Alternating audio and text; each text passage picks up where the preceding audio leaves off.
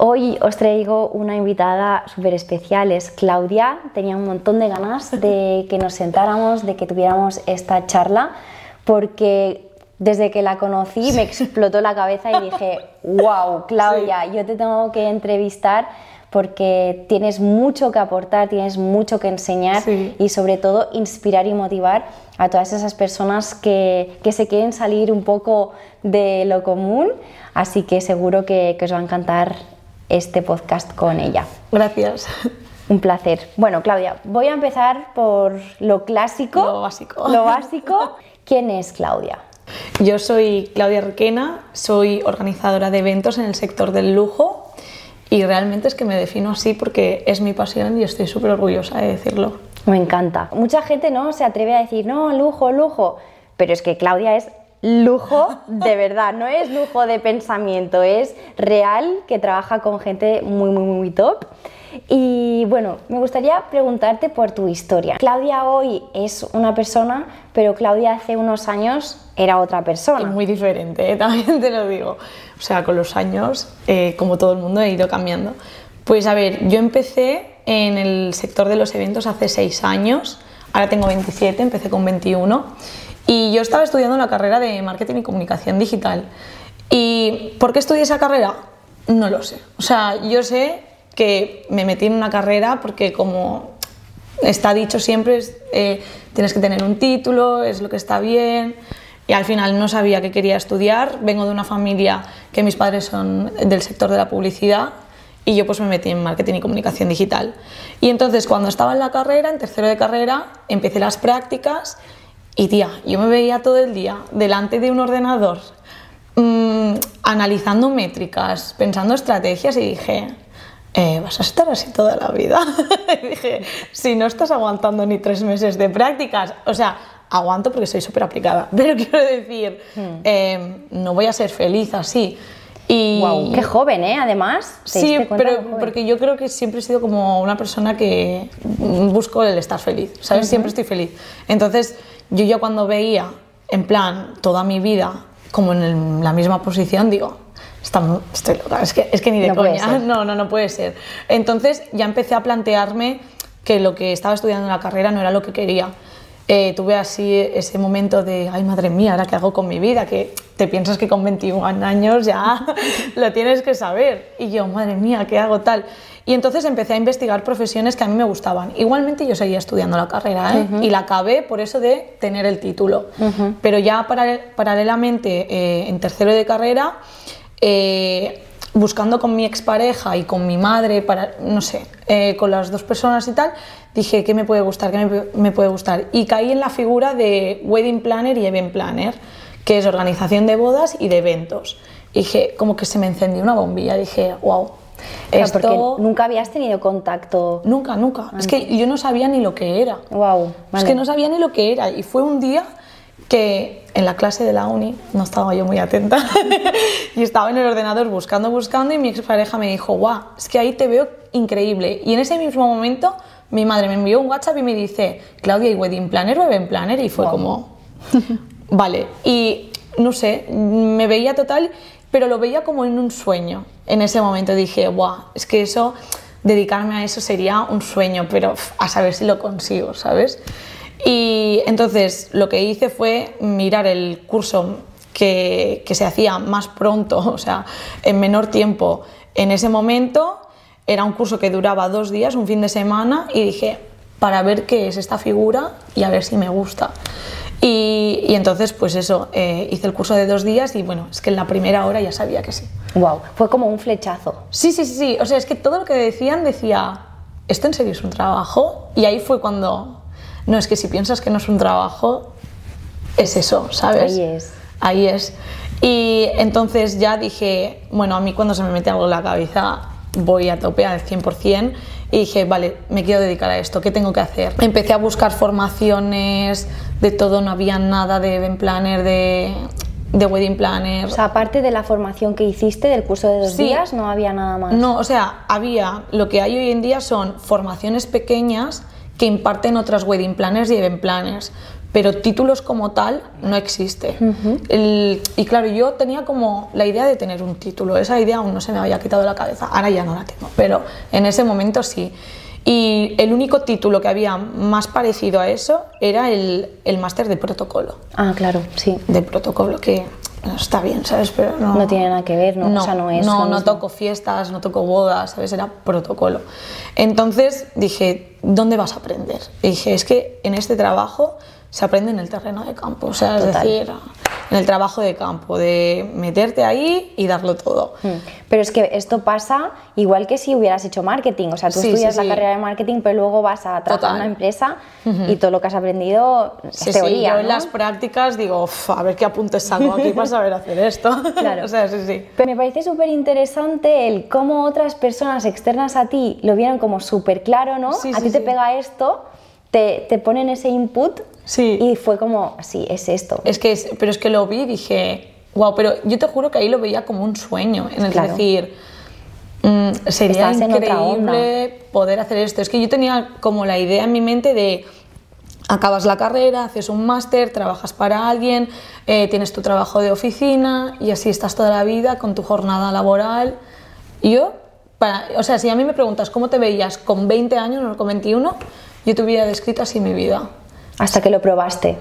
Pero sí, hasta que lo probé y dije, vas a ser la persona más infeliz del mundo. O sea, yo veía cada día una monotonía, o sea, todo, todos los días iguales, levantarte a la misma hora, sentarte a la misma mesa, hacer las mismas cosas, que dije, Claudia, Que no tiene nada que ver contigo. no, no, no, y encima yo soy un culo inquieto, o sea, necesito moverme, hablar con gente, no, no, no, o sea, es que dije...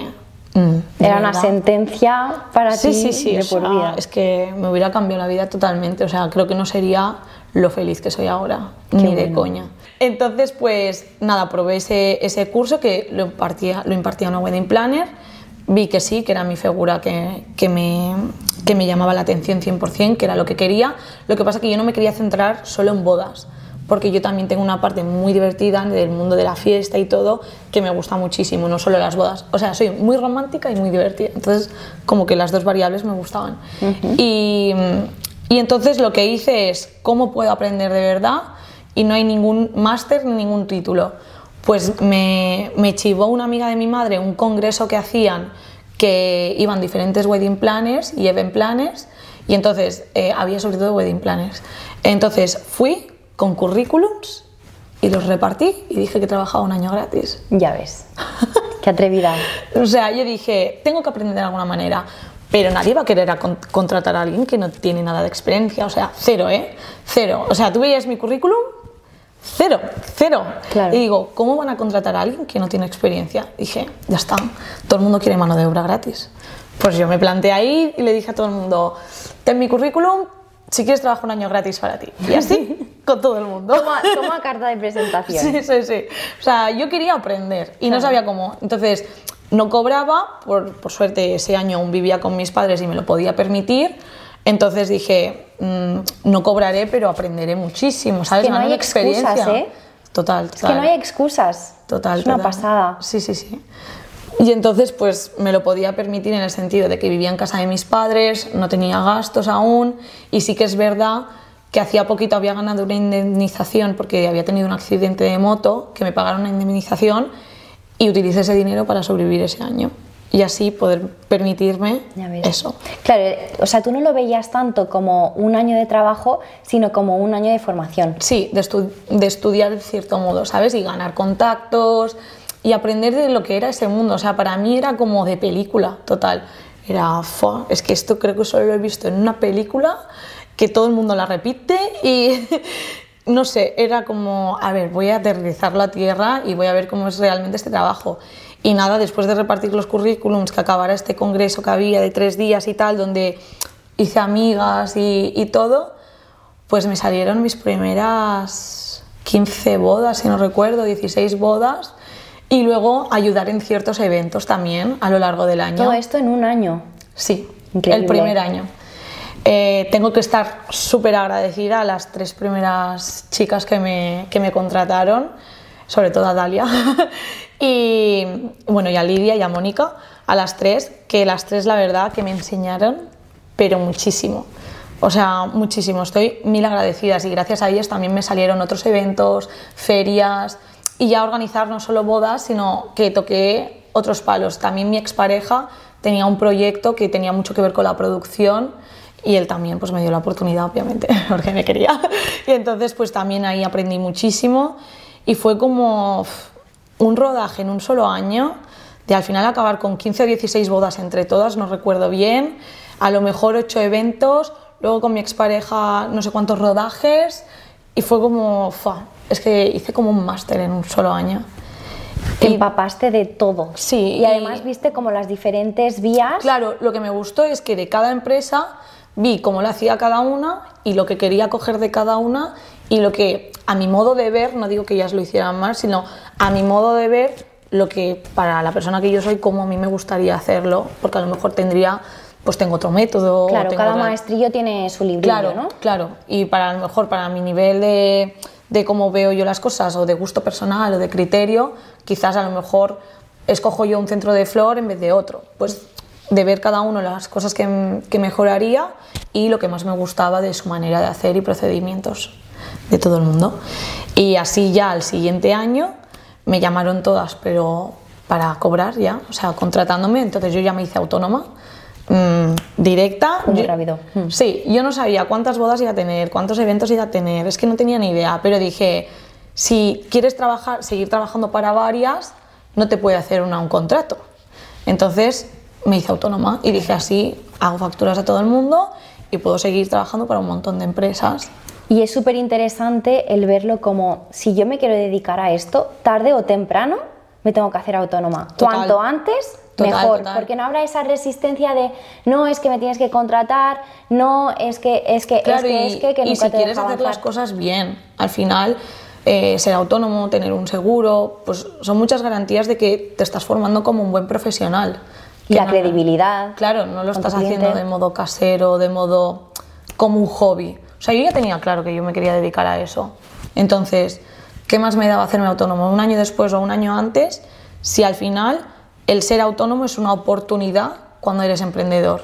Porque si te quieren contratar y no puedes hacer factura, a lo mejor es motivo de que te echen para atrás. Entonces, yo esa barrera no la quería tener. Muy bien. Entonces, ya, pues, también soy mucho de lanzarme a la piscina. Bueno, es que o te lanzas sí. o te quedas en el mismo sitio siempre. Sí, pero también yo creo que soy mucho de lanzarme a la piscina por lo que creo, ¿sabes? Y como lo tenía tan claro y tal, bueno, supongo que te ha pasado lo mismo. Tienes que confiar, o sea, en realidad los emprendedores somos un poco locos. Sí, o confiamos en nosotros mismos o para eso tienes un trabajo y ya está. Pero también entiendo que a día de hoy ya no hay nada seguro. O sea, ni siquiera es que mm. confiamos más en el empresario que nos da trabajo que en nosotros como empresarios. O sea, es muy loco. ¿Por qué confías en alguien y no en ti? A ver, yo también te digo que, claro, yo al no haber trabajado nunca por cuenta ajena, ya casi prácticamente, como que siempre me ha tocado confiar en mí, ¿sabes? No has tenido opción. Porque siempre es lo que te ha tocado. Exacto. O te las buscaba, te buscabas tú la manera de, o, Sí o tenías que buscar trabajo y eso para ti no era una alternativa. No, no, no, o sea, ya lo probé en las prácticas y ya sé que no, que no. O sea, y mientras estudiaba la carrera sí que fui dependiente y todo esto, el típico trabajo que tienes mientras estudias. Pero, pero no a lo que te quieres dedicar, evidentemente. ¿Y, ¿Y qué pasa en el momento en que te empiezan a contratar ya de verdad? Pues que también envié currículum al Barça, al Camp Nou, para que me contrataran como coordinadora de, coordinadora de, eventos de allí. Entonces empecé un año, ese segundo año, a coordinar, bueno, y a trabajar toda, para todas esas empresas que ya me habían contratado el primer año, más para el Camp Nou, pero era como un tipo de autónomo, porque me contrataban por evento. Es decir, Claudia, tenemos este evento en el Camp Nou, vas a hacer tantas horas, tantas horas, tienes esta escaleta, tienes que coordinar todo el evento. La escaleta es como el timing de lo que va pasando en el evento. Entonces ahí ya gané muchísima experiencia a nivel corporativo, de marca y eventos más formales como presentación de jugadores, bueno, todo esto, ruedas de prensa, cenas de empresa, tal. Luego tenía las bodas por el lado de las chicas que siguieron contando conmigo, Lidia, Dalia, Mónica y tal. Y luego tenía los eventos más divertidos con mi expareja. Entonces como que tocaba todos los palos. Me encanta, pero antes de avanzar, quiero poner énfasis a eso de he hecho un año de prácticas, entre comillas, Sí, gratis. gratis, totalmente gratis, me lanzo a ser autónoma, me voy a una pedazo empresa que Sí. no es cualquiera, Pero tengo que decir, no me voy a atribuir todos los méritos, fue por In- Infojobs, ¿eh? O sea, fue no en plan- importa, no importa, o sea, el- lo que quiero decir es el atrevimiento de decir, nunca he tenido una experiencia eh, con un estilo de empresa, pero yo sé lo que valgo, sé la capacidad que tengo Sí. y me lanzo a atreverme. Y lo digo porque hay mucha gente que les llegan oportunidades y no las cogen porque tienen miedo. Es que yo siempre pienso, yo siempre pienso, tú di que sí, y entonces mira lo que necesitas para cumplir con eso y trabaja para ello. O sea, yo lo del Camp Nou dije que sí, obviamente ya les comenté que tenía todo ese año de experiencia, luego ellos me hacían una formación de una semana, que así aprendía todas las instalaciones, las cosas de los eventos, pero al final si yo veía que iba escasa en algo o en algún ámbito, yo iba a trabajar para darlo todo. O sea, quiero decir, si veo que me falta formación en algo, mm, pues me apaño, me lo busco, me lo trabajo para poder dar el 100% y el nivel top de lo que se tiene que dar. Entonces, como que yo soy de decir que sí siempre, por ejemplo, podcast no he grabado en mi vida. Y me dijo Celia. el primero, estrenamos. y me dijo Celia, ¿te grabo? Y yo, venga, pues sí. O sea, yo siempre digo que sí. Y luego ya, pues estos días he mirado algunos podcasts, cómo se graban, cómo tal, y digo, vale, pues voy a ir con colores claros para que no distraiga, no sé. Es como ya, una vez digo que sí, me preparo para ese sí, para estar preparada, ¿sabes? Para ese sí. Claro, no, en realidad es lanzarte a Mm. lo loco, pero con un salto previo de conciencia Exacto, exacto. Sí, sí. y confiando mucho en que eres capaz de hacer una cosa. Eh, Yo creo que se basa en la confianza. Mm. Sí, sí, sí, total. Pero yo confío básicamente porque sé que voy a dar todo de mí para que salga un resultado de 100. Y esa confianza nunca me va a faltar. Porque sé cómo soy, soy súper... mm, tengo algo en mente y lo consigo, entonces sé que voy a, a trabajar a tope para conseguir eso. Entonces esa confianza no me falta en cuanto a mi capacidad de trabajar, ¿sabes? Para conseguirlo. Y es clave, Sí. desde luego. Sí, sí, sí. Y más si abres una empresa, eres emprendedor y todo esto. Y se necesita también muchas más cosas. Además, eh, ahora, ahora volveremos un poco a lo que estabas contando, pero recuerdo cuando te conocí, que me contaste, ¿no? Que, que eras una persona súper exigente. Y lo dijiste como de, de una manera como muy segura, de es que soy muy exigente, soy Sí, muy Pero perfeccionista. porque a mí me gusta mucho serlo. O sea, yo sé que hay gente que lo ve como un defecto, pero para mí para nada. O sea, soy súper exigente y súper perfeccionista y me encanta. O sea, me encanta porque sé que el resultado que doy siempre es de 100 y, y no acepto menos. Y todo el mundo me dice, Claudia, pero siempre hay fallos, tal, sé qué. ya, sé que siempre hay fallos, pero esos fallos ya están contemplados. Mm. Y si hay alguno de esos fallos, no pasa nada porque yo ya tengo soluciones, ¿sabes? Exacto. Además, que no pase... Además fue muy interesante porque te hice la pregunta de, claro, el tipo de cliente que tienes es un Mm. cliente exigente. Y tú la respuesta que me diste fue, es que yo soy más exigente Gente que ellos. Que ellos. Entonces Sí. eso a mí no me molesta. Wow, wow y wow. Gracias. Porque es, es- Sí. es un atrevimiento y el perfeccionismo más de lo más, ¿no? El, Sí. el no hay nada perfecto. Déjame, Claro. que yo quiero que sea perfecto. Sí, ¿no? es que claro, siempre me dicen, porque al estar en el sector del lujo ahora, que luego decimos cómo he pasado una cosa a otra, eh, al estar en el sector del lujo, eh, claro, mis clientes pagan mucho dinero por las fiestas y, bueno, por todo lo que organizamos. Entonces, todo el mundo me dice, Buah, es que deben de ser súper exigentes con todo lo que pagan, tal, que nadie sabe nada, porque nunca se habla de números ni de nada, pero quiero decir, con lo que deben pagar, tienen que ser súper exigentes, y luego pienso, pues no. O sea, nunca he percibido que un cliente en especial sea súper mega exigente. Otra cosa es que a, a veces tenemos diferentes formas de ver cómo puede ser un evento u otro, pero que sea súper mega exigente, no. Y luego recapacito y digo, joder, es que es imposible porque la más exigente aquí soy yo. Claro, a eso iba. O sea, Es no que- es exigente de verdad o porque tú, tú eres tan exigente. Claro, yo creo que sí que son exigentes, pero yo no lo llego a percibir porque mi exigencia está por encima. Y al final, como cada evento, o sea, es mi pasión. Entonces, cada evento lo veo como un mini bebé que quiero que salga perfecto, un mini proyecto que quiero que salga de 10, no, de 100. Entonces, ya, ya me lo tomo como, no, es que tiene que salir perfecto, ya miro cada detalle. Entonces, no da opción a que puedan exigirme más porque es que ya hay mucha exigencia. Claro, tú ya te posicionas en un Sí, lugar y, sí. y seguramente por eso quieran trabajar contigo, porque Sí. al final saben que mm, todo lo que puedan pedir, Sí, tú ya lo, ya lo tienes contemplado, o sea, vas un paso más allá y ese es el valor añadido. Yo de hecho creo que por lo que más quieren trabajar con nosotras, con la agencia en sí, o sea, con mi socia y conmigo, es porque llevamos seis, seis años con clientes muy, o sea, yo cuatro, pero mi, mi socia seis, eh, con clientes muy top, de un nivel muy alto y Nivel adquisitivo alto. Sí, un nivel adquisitivo muy alto y nunca han tenido ningún problema en cuanto a discreción, o sea, nunca ha salido ninguna fiesta, nunca se ha sabido nada. De hecho, mm, no tenemos redes sociales, no tenemos página web, o sea, nunca ha salido nada de nada. Yo creo que para ellos eso es lo más importante porque pueden confiar hasta tal punto de que nunca eh, se ha dado a conocer nada. O sea, yo creo que si buscas Claudia Requena en Google o en cualquier lado, o Greta Llobet, que es mi socia, o Birrery Events, que es la empresa, la agencia que tenemos, no te sale nada. Claro, no se sabe con sale quién nada. trabajáis. No, no, no, ni con quién trabajamos y, ni si existimos, yo creo. O sea, es que el nivel de discreción y entonces eso ya les hace confiar un montón en ti. O sea, ya confían en plan, es que no me tengo que preocupar porque no, nunca he ningún problema de nada, nunca hacemos fotos, nunca, nada. Y luego ya el, tienen él que sale todo perfecto, nunca tienen ningún problema, siempre estamos ahí para cuando nos necesitan. Luego todo sale precioso porque también tenemos una base de diseño, creamos unos diseños brutales. Entonces yo creo que son cosas que se van sumando que como para no contar con nosotros. Total, totalmente. O sea, Entonces- habéis, o sea, en realidad tenéis todas las condiciones para que os contraten y sigan con vosotras. Sí, de hecho, los que prueban siempre siguen. De ahí está que llevamos seis años con los mismos clientes. ¿Y cómo te llevó? O sea, ¿cómo llegaste al mundo del lujo? Pues después de este segundo año de estar en el Camp Nou como coordinadora con todas estas empresas y tal, pues yo paré a ver qué era lo que quería.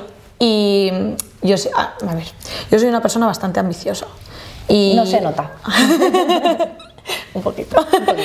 y soy bastante ambiciosa, entonces siempre eh, estaba como proyectando eso donde me iba a llevar, ¿sabes? Aunque sea mi pasión, yo quiero vivir de mi pasión y, y al final cuando dices, ¿cómo te gustaría estar de aquí a cinco años o cómo te gustaría estar de aquí 10 años? Yo siempre me he visto en un nivel de vida muy guay y digo, hostias, ahora tengo que ver cómo llevar esto a cabo y que, y que yo pueda vivir esa, esa vida que yo quiero. Entonces, viendo los modelos de negocio que habían y todo, a mí lo que me gustaba era empezar a trabajar con clientes con alto poder adquisitivo. Porque, bueno, porque sí, porque lo vi claro. Dije, o sea, yo para la vida que quiero y para los eventos que quiero hacer también.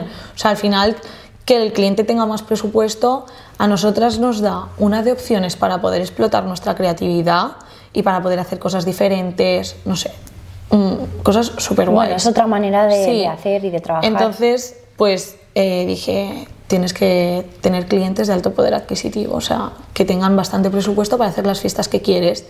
Entonces empecé a investigar por el sector quién era la event planner que estaba así posicionada. Y eras mi, mi socia, Greta.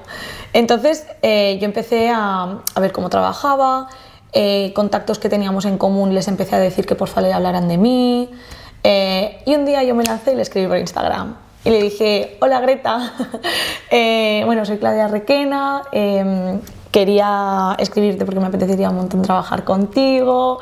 Eh, eh, si quieres, cuando quieras, pruébame un día gratis que ya verás cómo te quedas conmigo, porque tengo muchas ganas, porque, bueno, pues yo vendiéndome ahí, toda mi ilusión y, y todo lo que podía dar de mí, como la otra vez de, pues pruébame gratis, que es que no te vas a arrepentir, porque es que yo sabía que me iba a esforzar el 300% para gustarle a ella, ¿sabes?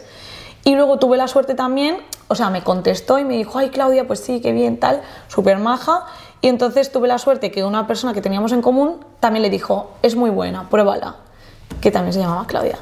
Y entonces, pues, pues sí, sí, Greta me llamó y me dijo, vale, pues te voy a probar en un evento que yo no puedo estar y estarás con mi mano derecha, que es Claudia, que también se llamaba Claudia. Claudia, que era su mano derecha, se fue porque, tenía otros objetivos en la vida y otras cosas. Entonces yo empecé ya casi desde el primer año, porque creo que Claudia y yo estuvimos poquito tiempo juntas, eh, desde el primer desde primeras como a trabajar yo como su mano derecha. Entonces llegó un punto que yo realmente me sentía como su socia, sin serlo, pero me gustaban tanto los clientes, la manera que teníamos de trabajar, todo, que aunque no estuviera por escrito, y aparte clienta, ay, Greta nunca ha sido una, una persona que diga yo soy tu jefa, ¿sabes? No, no, siempre nos hemos tratado por igual, eh, pensábamos igual, la manera de trabajar, que yo ya en cierto momento me veía como su socia y que la empresa era mía sin serlo, ¿sabes? Entonces ya empezamos como a tratarnos como socias, aunque no estuviera nada por escrito, pero al menos mi manera de tratar con ella y de ver la empresa yo la veía mía sin querer, ¿sabes? Claro, pero esto es, es entre, o sea, es, es, gracias a tu actitud y su actitud. Exacto, de ella, de, de... no posicionarse como aquí soy la jefa Exacto. y tú posicionarte de no soy la empleada que hago mis cuatro horas o mis ocho horas y me voy. No, no, o sea, esa sí que es verdad que yo trataba la empresa como mía, si yo me tenía que quedar... Para lo bueno y para lo malo. Sí, sí, sí, si yo me tenía que quedar 16 horas en un evento, yo me quedaba, o sea, pero es que no lo veía como un esfuerzo de yo me quedo, lo veía un, como que guay que estoy en este evento, ¿sabes? Entonces no, no lo veía así. Y poco a poco pues fui cogiendo más responsabilidades, más responsabilidades, más responsabilidades, hasta que yo, llegó un punto que, Greta, por, por el estilo de vida que tiene, eh, o sea, y, y ella tiene familia, tiene hijos, ella como que vio que todo funcionaba muy bien conmigo y empezó a coger menos responsabilidades y yo más. Pero simplemente por el hecho de que a ella le apetecían también estar más con sus hijos, al final yo no tengo hijos, mis hijos es el, los eventos, o sea, es mi pasión. Entonces, en la etapa que estoy en mi vida, pues Claro. me apetecía aún coger más, más y más responsabilidades. Y ya llegó el punto en el que hablamos de constituir una SL juntas, constituir la agencia, crear la agencia que tenemos ahora, que se llama Be Ready Events. Y, y al final, por tema de, de el nivel de presencia que estoy yo y que está ella, le propuse el, yo comprarle más porcentaje de la empresa, más que nada por el papel que tenemos cada una dentro de la empresa, aunque las dos sigamos dentro y, y top con todos los eventos. Y así he acabado teniendo mi, mi empresa de organización de eventos de lujo. Me parece increíble. O sea, es una auténtica pasada y eres el ejemplo de que la sigue, la consigue, aún Sí, sin saber seguro. el qué. Pero Sí. tú ya tenías un objetivo, aparte de la, de la autoconfianza, aparte de la autoexigencia, Sí. de, de saber que quieres llegar a un punto, esa ambición es muy buena, Sí. porque si no tuvieras eso, no, no hubieras hecho todo lo que has Ya. hecho, evidentemente. Sí, yo creo que también. O sea, es que como que no concibo mucho, o no, o sea, sí que lo respeto, pero no entiendo mucho las personas que se conforman con siempre estar igual. Supongo que porque tienen otras prioridades y a ellos les hace más feliz pues una estabilidad, o les hace más feliz otros factores. Pero en mi caso no es así. O sea, en mi caso yo yo veo el estar siempre igual, toda mi vida igual y no tener ninguna aspiración más al día, el día de mañana, y no- entonces no tengo un motor que me mueva, ¿sabes? Claro, yo creo que hay dos estilos de personas. Una, que ya le va bien, o sea, no todo el mundo aspira Claro, a claro, crecimiento y Sí, salir sí. de zona de confort y demás. O sea, yo creo que sí que existe ese tipo de gente que le y que gusta son súper felices. claro, y o sea, si son lo que valoran es eh, la estabilidad, ¿eh? Y oye, Ole, o- ole ellos, Ojalá, ole- ¿sabes? ole ellos. Y está genial. El problema es esas personas que sí que les gusta el movimiento, que sí que les gusta el, el Sí. utilizar su creatividad, su talento, sus dones o lo que sea, pero no se atreven y están estancados en un sitio por miedo al que Es que yo pensaría, si, si alguien está en ese punto, yo pensaría, ¿qué es lo peor que te puede pasar? ¿Qué es lo peor que te puede pasar? ¿Que te salga mal? Siempre vas a encontrar un trabajo en un supermercado. O sea, quiero decir, Tal cual. si te hace falta dinero, ya te mueves para conseguir un trabajo de dependienta, de, don- de, de- de administrativa, de, en un súper. O sea, quiero decir, si en algún momento te falta dinero, que es lo peor que te puede pasar, pues que al final no tengas para tus necesidades básicas, te buscas un trabajo de lo que sea, pero por intentarlo, ¿sabes? Y apostarlo, oye, que no sale, pues a por otra cosa, pero, ¿sabes? Al menos pruébalo. Al menos pruébalo. Yo ¿Sabes? soy igual de pensar que. O sea, yo muchas veces me hago esta pregunta y, y la respuesta es: te aseguro que me voy a buscar toda la vida, todo, todo, todo, todo, para no volver a buscar un trabajo si la cosa no me Ya, funciona ya. bien. Yo o también. sea, cuando ya estás en, en funcionamiento con- de lo que te gusta, lo peor que te puede pasar literalmente es tener que buscar otro trabajo Claro. y no das opción a eso. Exacto. Es que Es que, cuando- tampoco es tan mal, o sea, no te mueres. Quiero decir, si algo falla, No pasa nada, vuelves Sí, a buscar es- y ya está. sí. Em, no sé, yo creo que tenemos que romper un poco con ese miedo de qué es lo que va a pasar ma- mañana, porque es el freno que tiene la gente, el no saber, pues Mm. eso, estar un año, pero mira, en tu caso fue como muy interesante porque como tú ya diste por sentado que durante un año no ibas a cobrar nada, es como me voy a esforzar al máximo, sé que no voy a tener rentabilidad económica, pero yo pico pala, pico y pala. Mm. Sí. Seguramente hubiera sido muy frustrante el pensar, voy a cobrar, voy a cobrar, voy a cobrar y a lo mejor no cobro. No. Pero si tú ya vas con la idea de, me voy a formar, voy a aprender, Claro, voy a ser la yo lo- mejor, Mi objetivo era aprender, no era cobrar, no, no me iba a hacer rica, o sea, no, si es que no... pero es que no te ha costado tanto. O sea, estamos hablando de, de hace cuatro años, cinco, Seis. hace seis años. Sí. Y ahora ya tienes tu propia agencia con tu socia, el- estáis tocando al cliente más top que existe a nivel nacional. Sí. ¿Quién te lo hubiera dicho a ti hace seis años? Yo me acuerdo que cuando le escribí a Greta por primera vez, le dije a mi madre, "Uf, mamá, ojalá me coja para trabajar, es que de verdad que quiero trabajar con ella, tal, no sé qué, es que por favor, ojalá. Y yo diciendo cada día mirando el, el Instagram, porque le escribí por Instagram, y yo, ay mamá, por favor, o sea, yo con mi madre, que se lo cuento todo. Y, y ahora mi madre me pregunta, Claudia, tanto que decías, ojalá trabajar con ella, y ahora eres, ahora eres su socio y tienes una agencia con ella. Total. O sea, si no hubiera escrito ese mensaje en Instagram y, es que lo- y no le hubiera hablado al entorno de, por favor, hablar de mí, hablar de mí, para que le llegaran más inputs, a lo mejor ahora mi vida sería totalmente diferente, ¿sabes? 100%. Pero es que eres el claro ejemplo de que un sueño se puede cumplir, pero para que se cumpla ese sueño Hay tienes que, tomar mucho. acción, o sea, tienes que moverte, tienes que hacer cosas. Y que no todo cae del cielo, ¿eh? O sea, que, Claro decir, que no. hay mucho trabajo, hay mucho esfuerzo y, o sea, lo que alguien quiere también, no creo que le cueste, pero sí que tienes que poner de tu parte para que eso suceda, ¿sabes? Que no te venga todo regalado, porque tampoco... Bueno, eso no, eso no es real. Exacto. Ni teniendo contactos, ni teniendo dinero, Claro, te ni teniendo las mejores condiciones Exacto. del mundo. Si tú no te mueves, si no eres espabilado, si no trabajas, Exacto. si no demuestras, es que... Es que da- solo pasan cosas cuando haces cosas. Exacto. Si no... Me encanta esta frase. Exacto. porque es totalmente real, wow. Y cuéntanos, ahora eh, ya no haces bodas, haces bodas, solo te... Vale. ¿qué- O sea, ¿cómo empiezas? A mí, o sea, ese es, es lo que quiero y me interesa saber. Eh, ¿Cómo empiezas a construir ese modelo de negocio adaptado a ti y no al revés? Que me parece muy top. Vale, adaptado a mí. A ver, ahora mismo sí que hacemos bodas, pero como son de mucho presupuesto, aceptamos como mucho una o dos al año. O sea, miramos los clientes que nos llegan y entonces miramos la complejidad de cada boda y decidimos qué bodas hacemos y cuáles no. Porque al final, eh, bueno, cada boda lleva muchísimo trabajo. Al nivel que estamos nosotras acostumbradas hay infinidad de detalles, o sea, infinidad. Mm, es que no, no os lo podéis ni imaginar, a lo mejor hasta construir de la nada una garita de seguridad para controlar X cosas, o sea, hay muchísimos detalles.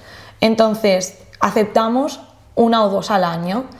¿Que hay alguna excepción porque hay alguna más pequeñita y se pueden tres? Lo miramos. Cuando hablamos de más pequeñita, son presupuestos de 80.000 euros. O sea, Ya ves. mm, Peque- eh, es interesante, grande, claro, ¿sabes? es interesante que lo digas porque lo que es pequeño para ti es muy grande para otra persona. Exacto. Entonces, para nosotras, bodas pequeñitas pues se mueven en ese presupuesto. Y luego, pues ya mm, todo lo que quieran subir. Y entonces. ¿Puedo preguntarte cuál ha sido el máximo más o menos de presupuesto? Em, Si se puede decir, ¿eh? sí, o sea, no te digo ni de quién ni de nada, pero sí que hemos llegado a, a mover presupuestos de un millón. Para una boda. Sí, para bodas. sí. Claro, ahora entiendo el, el pequeño de 80.000. Claro, claro. Es que es, un baby. sí. Y me parece interesante preguntarte, el, el cliente de poder adquisitivo alto, eh, de lujo, ¿no está en redes sociales? No, o sea, de hecho nosotras no tenemos ni página web ni Instagram, que bueno, está abierto, pero como si no lo tuviéramos. O sea, tenemos presencia en Instagram, pero podéis entrar y a lo mejor perfectamente hace una semana que no hemos colgado nada. Eh, también lo estamos trabajando esto, pero no, estamos en, no tenemos presencia digital más que nada porque es que no nos llegan por allí los clientes, entonces no le hemos dado esa importancia. Que ahora sí que se la estamos empezando a dar, ¿eh? Ahora hace una semana, pero... la gente a lo mejor se puede preguntar, el, pues, ¿cómo llegas a esos clientes? Claro, es que nosotras, una vez entramos en una rueda, claro. esto ha sido un no parar. De, eh, haces el evento de un cliente, allí hay asistentes de su entorno. Pues es lo que le has hecho a él, lo quiero yo para la semana que viene o para dentro de dos semanas. O el propio cliente que está súper contento con nosotras y que los queremos un montón. los queremos un montón a todos, la verdad. Ellos mismos pasan nuestro contacto, ¿sabes? O sea, dicen, oye, que fulanito me ha pedido una fiesta, eh, le he pasado tu contacto. Y eso lo han hecho de clientes. Claro, es por recomendación. Todo, o sea, llevamos seis años por recomendación, de boca a oreja. Qué interesante. Y es que ha sido una rueda de no parar, ¿eh? O sea, si es que yo no me había planteado tener página web ni Instagram en la vida. Hasta que dije, ostras, Claudia, es que ahora ya desde hace un año y medio tenéis una agencia, esta agencia no se ve en ningún lado, o sea, parece una agencia fantasma. A lo mejor aquí hay que darle una vuelta, ¿sabes? Claro, aquí lo interesante es si habéis conseguido todo esto sin presencia digital, en el momento en que sí que tengáis presencia digital, os pasáis, o sea, os pasáis el No lo sé, tía, es algo que no lo sé, porque al final tengo dudas, ¿eh? te lo juro, porque como mi cliente no pierde tiempo en mirar redes sociales, o sea, claro que miran sus cosas, pero no comprueban si alguien es bueno porque les llegamos a través de una recomendación, a través de un WhatsApp. Entonces, no sé hasta qué punto. Sí que creo que nos abre nuevas oportunidades hacer fiestas exclusivas para empresas. Hmm. Que este perfil, por ejemplo, no lo tenéis. Tenemos a lo mejor de nuestros clientes el 10%. Mm, o sea, todo es particular. Todo es particular a día de hoy, menos el 10-15%, que son empresas muy top que pues quieren hacer una fiesta para sus trabajadores, pero no sigue siendo, o sea, acaba siendo una fiesta, ¿sabes? No es un evento, o sea, por ejemplo, congresos no vamos a hacer. O sea, no tiene nada que ver ser que sea de un contacto muy directo, que nos lo pida como favor, que sea un contacto importante, tal, lo estudiamos entonces el caso, pero no hacemos eventos corporativos serios. Nosotras de hecho, eh, todos nuestros eventos la, gente está feliz, se lo pasa bien, bebe, o sea, son muy divertidos. O sea, son fiestas de pasárselo bien. Sí, sí, son Son eventos de fiesta. Exacto. Que puede ser un cumpleaños infantil, un cumpleaños adulto, una fiesta porque te da la gana hacer una fiesta, una barbacoa, una fiesta de la espuma. O sea, hemos hecho de todo. Y en verano, sobre todo cuando vamos a Ibiza, igual en las villas de los clientes, les hacemos todos los fiestones y todo. O sea, son fiestas muy divertidas y puede ser cualquiera la excusa. O sea, puede ser desde un cumpleaños hasta una celebración o hasta porque les apetece reunirse con los amigos.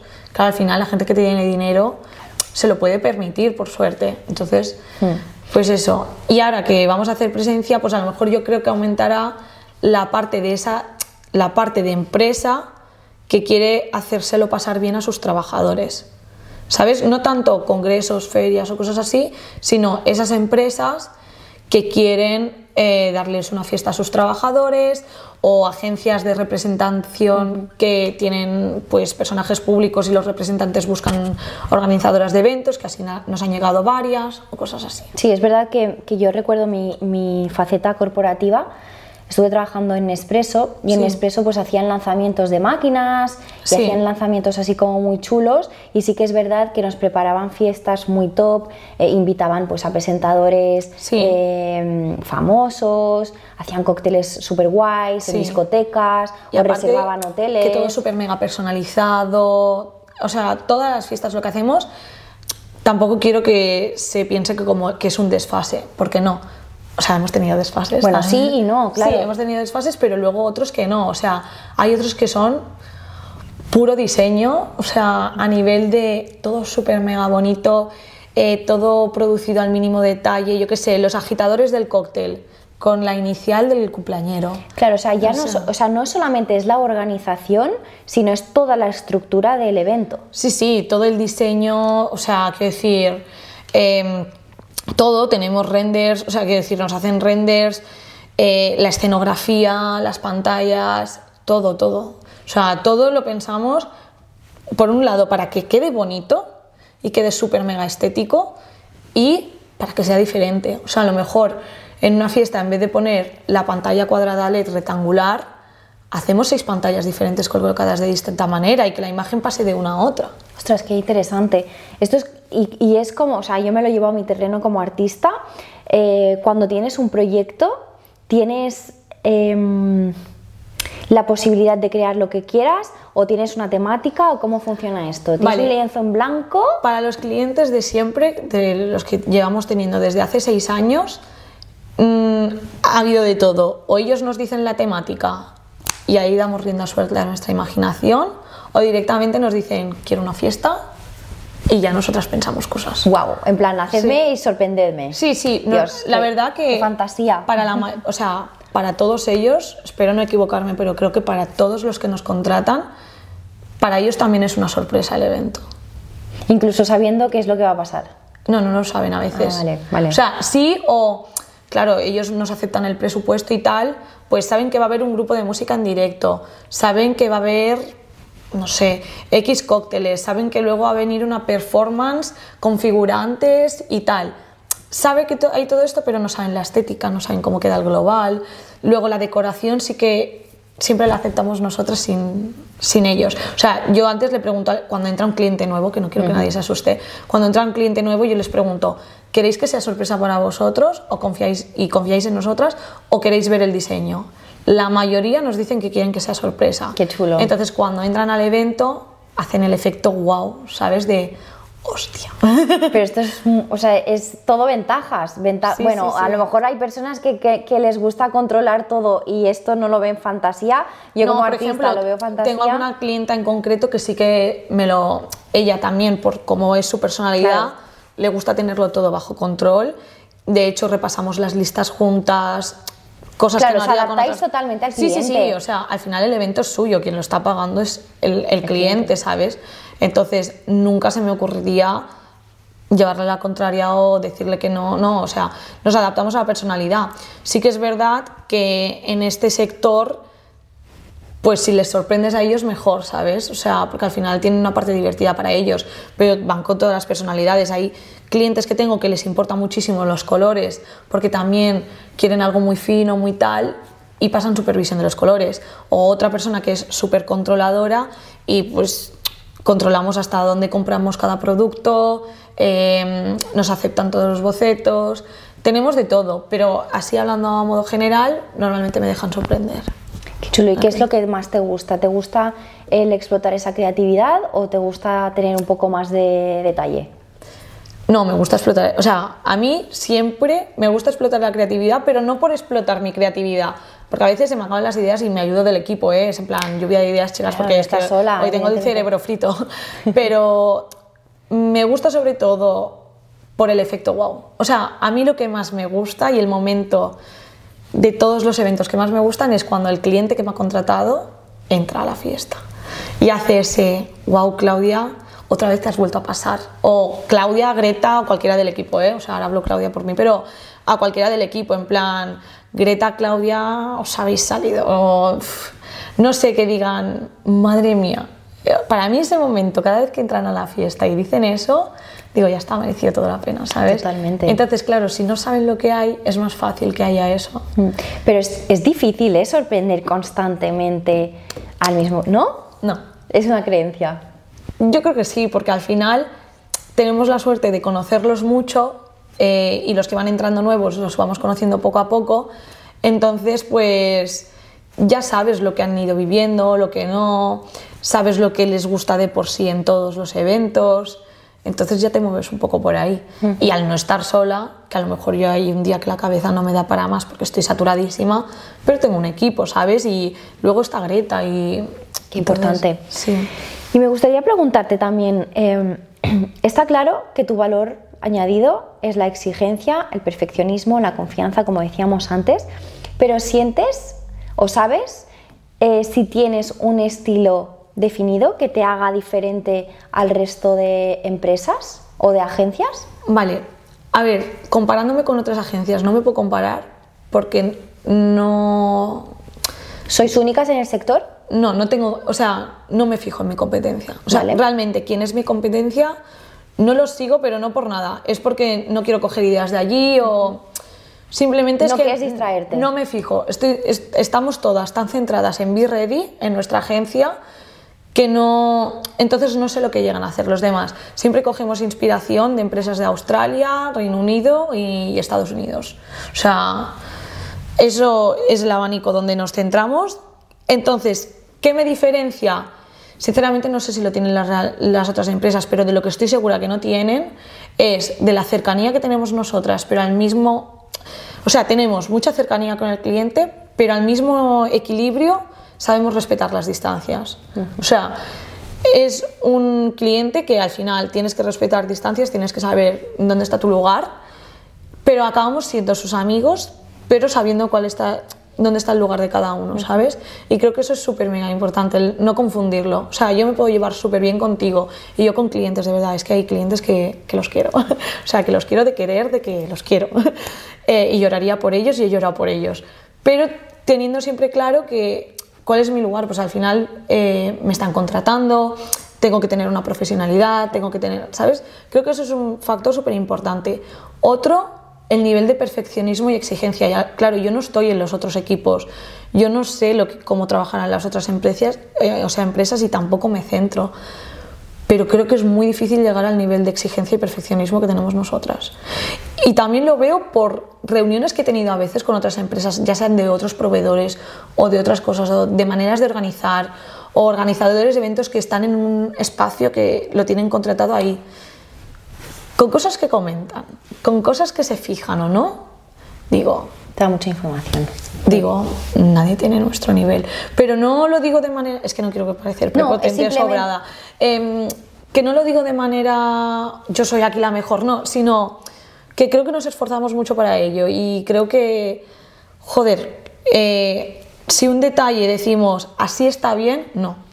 No está bien ya así, sino es cuando todas lo vemos así está perfecto. ¿Sabes? O sea, creo que ese nivel es, es muy difícil llegar porque y que tu equipo también sea así es muy difícil porque al final yo he visto muchos equipos que alguien, alguien del, del equipo, algún componente dice, pero ¿qué más da eso? No pasa nada. En nosotros todo pasa, o sea, sí que pasa. ¿Sabes? Entonces creo que es muy difícil también eso. No por decir que yo soy la mejor ni nada de eso. O sea, eso no, No, pero- no, o sea, buscáis la, siempre la perfección. Sí. O sea, es vuestro Sí. valor. Pero luego también tenéis como un estilo definido. Ay, perdón, creo que no te he contestado eso antes. No, no, lo, lo digo porque, o sea, Sí. me gusta mucho porque al final, como creativa, o sea, también Sí. está esa parte más artística y tener un sello diferenciador, no solo ya a Pues nivel... sí, sí, yo creo que sí. Somos muy pulidas y muy limpias. Es decir, con esto me refiero, no hay ruido visual. O sea, a lo mejor nos pueden dar una fiesta infantil, me lo invento, de superhéroes de cómic, que es todo mucho color, mucho tal. Pues jugamos con los diferentes tonos de azul, le damos un tono de color en según qué punto porque creemos que da juego y no es todo muy plano. Pero es todo muy limpio, muy pulido, Muy minimalista. Sí, ahora te pongo de ejemplo las fiestas infantiles porque es lo que creo que puede cau- causar más ruido visual, porque al final las fiestas de los adultos es fácil ser pulidito y limpio, seguir solo tres colores y con los demás también, pero las fiestas infantiles suelen tener mucho color y a veces temáticas muy uf, que te aturullan la cabeza un poco. Pero por ejemplo, ¿qué hemos hecho nosotras? Pues yo te enseñé una foto comiendo. Eh, tenía que haber una piscina de bolas, tenía que haber un tobogán, tenía- Fantasía. tenía que haber muchas cosas para los niños pequeños. Estas cosas suelen tener muchos colores. Pues, ¿qué hicimos? Creamos, contratamos un proveedor que nos hizo. La temática era de abejas. Era todo amarillo pastel, eh, blanco y despuntaba un poco un amarillo, un poco en algunos detalles más chillón. ¿Qué pasa? Pues que hicimos hacer una piscina de bolas con pelotas blancas, amarillo pastel y amarillas. Todo el mobiliario del tobogán era beige o era blanquito. Entonces, toda la ludoteca, digamos, todos los juegos de los niños seguían la gama eh, cromática. Entonces, ¿qué hace? Que una fiesta infantil sea preciosa. Claro, porque ahí está la diferencia, o sea, si una persona se imagina el, el típico parque Claro, de el bolas, de el chiquipar, con las pelotas, el, el tobogán, el balancín, tal, no sé qué, todo, todo es de unos colores azul, Sí, rojo, naranja, tal, verde, que dices, ¿cómo voy a poner yo eso con, en mi evento? Al final es una imagen que yo quiero dar. Claro. Nosotras siempre vamos con colores súper pulidos, beige, blanco, el logo es beige, o sea, todo es muy colores muy neutros y todo muy limpio. Entonces nuestros eventos también. Claro, Entonces, esa coherencia. Sí, entonces, pues, ¿qué hacemos? ¿Una fiesta infantil? Pues hacemos la ludoteca. Entonces todo. Y lo diseñáis todo desde principio a Bueno, fin. un proveedor. Contratamos al proveedor. Bueno, claro, lo buscáis, lo Claro, tenéis. le decimos cómo lo queremos y tal. Y por suerte este proveedor ya lo tenía hecho. Entonces, pues ya se lo alquilamos y, y nada, que lo instalaran en la fiesta. Qué increíble. Me acuerdo que al principio te decía, pero la gente de verdad se gasta un millón de euros en una fiesta o en, en una boda. Y tú, sí, sí, o sea, Sí, sí. dinero hay para gastar y muchísimo. Sí, o sea, al mira, revés. Una de las cosas, cuando yo dije en mi entorno que me quería dedicar a la organización de fiestas, bueno, de eventos y bodas, mucha gente me dijo, no te vas a ganar la vida con eso, porque ahora nadie, nadie va a contratar o nadie se va a gastar el dinero en, en- Fíjate. en contratar a alguien para que lo organice. Y yo, vale, bueno, yo lo voy a hacer. Claro, pero ahora- porque es, o sea, al final es lo que digo siempre del entorno. Sí, ¿Quién te lo está diciendo? ¿Te lo está diciendo tu cliente ideal? ¿Verdad que no te lo está diciendo tu cliente ideal? No. Entonces no hagas caso a esas personas que ni están en tu ámbito, Sí. ni en tu trabajo, ni es tu sobre todo si no es tu cliente ideal. Si tu cliente te ideal te lo dice, vale, Lo- lo- anotas. Sí. Si te lo vuelve a decir otra persona, vuelves a anotar. Pero, si Pero- te lo está diciendo una persona que, que ni, se, ni se dedica ni, ni nada de esto, está claro que, que no hay que darle importancia. Y está claro que el ejemplo ha sido totalmente al revés. ya, ya, total. Al revés, es que hay mucha gente que, que no sabe cómo gastarse el dinero. Sí, en este mundo sí.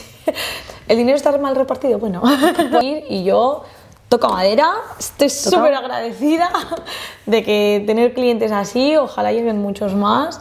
Eh, O sea, yo en todo momento cuando hablo así de la empresa em, y cuando hablo con gente que me pregunta cosas y todo eso, sobre todo no quiero parecer ni prepotente ni nada de esto porque No, no es en plan ha sido todo con mucho trabajo y cada día agradezco el, ten- el poder haber tenido estos clientes, el tener estos clientes y que seguimos trabajando, o sea, que no damos nada por hecho Claro.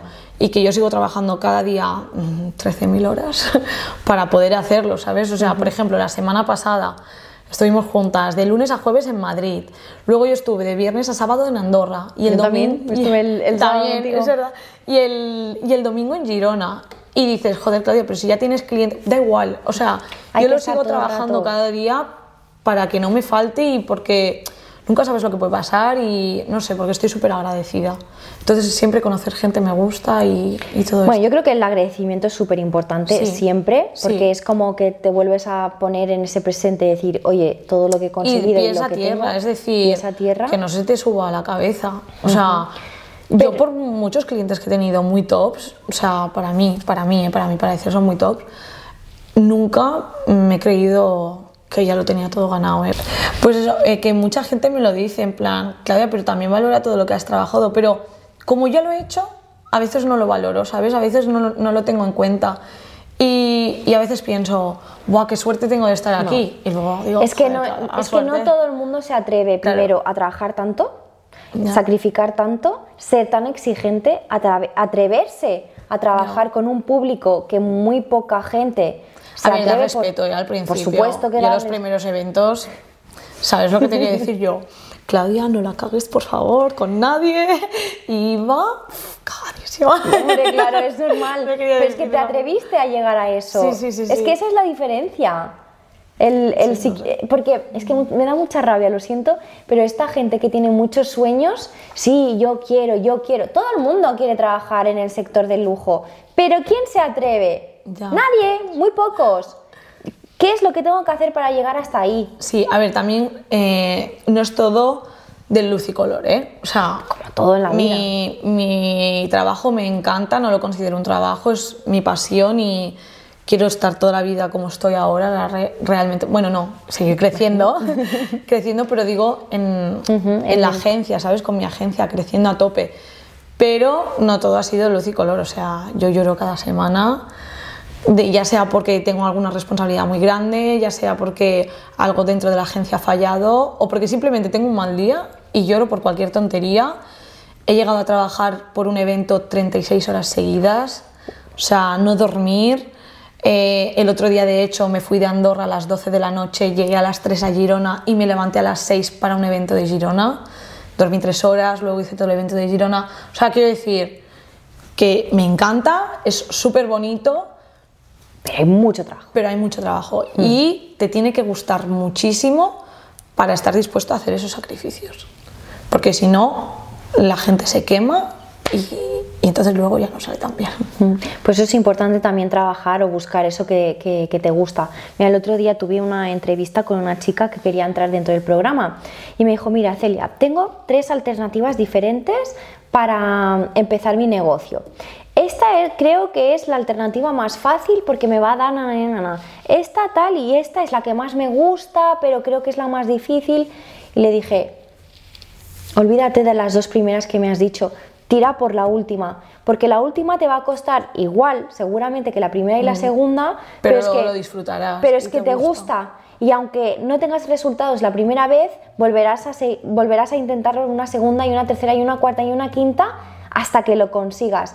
Cuando si tiras por lo fácil, entre comillas, que nada es fácil en el emprendimiento, vas a abandonar a la primera o a la segunda. Entonces, Claro, claro. si hay que poner recursos, tanto sea de dinero, tanto sea de tiempo, elige eso que sí que te gusta. Porque no vas a abandonar. Total. Y vas a seguir y seguir y seguir y seguir hasta que tengas resultados. Entonces, busca aquello que te apasiona y trabaja hasta tener resultados. Y no hay Sí, sí. excusas. Yo es que, por ejemplo, tuve resultados mm, por mí misma, o sea, sola, quiero decir, sin ayuda ni nada. Quizás al tercer año que ya me empecé a dedicar a esto. Y luego ya me he podido ir ganando la vida muy bien cuando ya entré en el sector del lujo y todo esto. Pero luego el crear la agencia requiere una inversión y inversión en equipo, en mentorías, con mentores, en crear la infraestructura, en constituir la SL. Y entonces como a nivel de economía ha sido un paso para atrás. O sea, es decir, ahora ya tengo otra vez que escalar la empresa, hacerla más grande, para otra vez volver a la economía y superarme para llegar a los objetivos que quiero. Exacto, es una evolución constante. Exacto, exacto. Y no... de Y primeras. más, no. Y, si quieres hacer crecer una empresa, o sea, tienes que invertir. Uf, invertir. Todo Yo creo rato. que este año ha sido el año que más he invertido. O sea, invertir es que es la palabra de. O sea, para mí 2024 es invertir.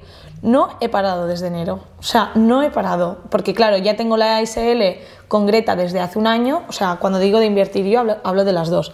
Eh, ya tenemos la SL desde hace un año. Ya hemos visto el año, de, el año que ha tenido de vida, cómo, cómo ha sido.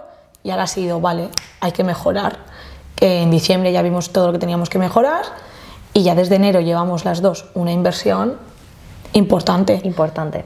Que eso, quizás a nivel económico dices, ostras, estoy dando pasos para atrás, pero realmente es porque luego vas a dar un salto más grande. Pero es que eso es lo que significa una inversión. Exacto. No es un gasto, es una inversión. Exacto. Y eh, yo también lo digo, ¿no? El otro día también tuve otra entrevista y me dijo, pero tampoco, me dijo, ¿tampoco tiempo llevas haciendo el programa de mentoría? Claro, son seis o siete meses, siete meses o así. Para mí hace cinco años ya. Ya, ya. Pero es que cada semana... pues cada semana es un mes y cada mes es un, año, para sí, sí, nosotras, sí, ¿no? Pero Es que estamos en el mismo grupo de mentoría. O sea, nos conocemos gracias a nuestros mentores. Exacto. Entonces, lo interesante aquí es que cuando, porque, o sea, suena como a, claro, invertir, invertir, suena a, como a vendehumos, pero la realidad es que hablamos de inversión porque nos hemos dado cuenta de que cuando inviertes, haces saltos cuánticos, todo se acelera muchísimo más. Total. Porque estás invirtiendo o en equipo que y te ayuda tienes el foco ahí. o tienes el foco ahí. Sí. En el ejemplo del equipo es todo lo que tú no eras capaz de hacer sola, te lo están haciendo otras personas, por lo que tienes muchísimas más manos y llegas mucho más lejos, igual que unos mentores sí. Es que, yo, te por ejemplo, sin mi mano derecha, que es Claudia, también se llama Claudia, eh, no podría hacer nada. ¿eh? es el O equipo que- de Claudias. Sí, sí, sí, eso ha sido casualidad, eso ya no va con la, con la agencia. Pero yo, sin mi mano derecha, Claudia, mm, no podría. mm, Le debo mucho, o sea, que decir, eh, no podría. Es que es muy llegar a todo. O sea, yo, por ejemplo, la semana pasada que estuvimos en Madrid con la mentoría, todo lo estuvo dirigiendo ella y haciendo ella, porque si no, yo no podía invertir ese tiempo en hacer crecer la agencia, ¿sabes? Entonces, sí, sí. Esto es importante. Evidentemente, pues hay que pagar el equipo y eso es una inversión. No hay que verlo como gasto. Al menos cuando estás empezando, luego ya, evidentemente, en contabilidad y estructuras, sí, demás sí, es sí. diferente.